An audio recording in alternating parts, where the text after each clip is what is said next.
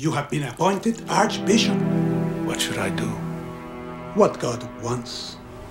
What is that? It is not an easy time. Anyone who says what he thinks, he lives in fear. He'll make no waves. You're losing the people. My task is not to run the country.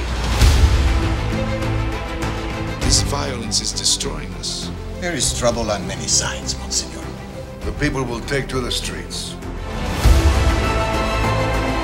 And even you admit we have the right to defend ourselves. You're not defending! You're attacking!